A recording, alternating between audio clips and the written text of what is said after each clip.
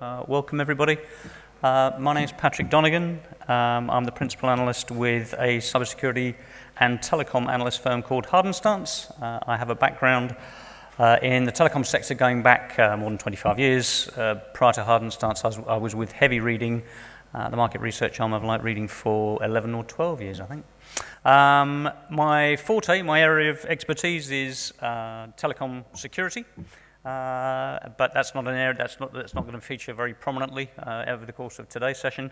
Uh, but I'm pretty familiar with uh, a lot of the issues that we're going to be talking about anyway.